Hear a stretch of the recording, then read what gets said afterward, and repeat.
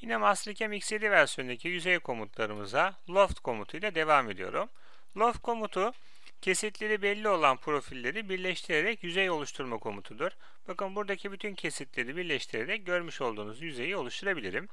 Yani bir CMM makinesinde tarama cihazından elde etmiş olduğunuz kesitleri bu şekilde birleştirip bu şekilde formu yakalayabiliriz. Create menüsüne geliyorum, yüzey komutuna geliyorum, loft komutuna giriyorum. Yine tek tek seçebileceğim gibi pencereleri seçebilirim. Pencere seçimi seçiyorum. Elemanlarımı pencere içerisine alıyorum. Yine her pencere seçimde olan yaklaşık başlama noktası tanımlıyorum ve onaylıyorum.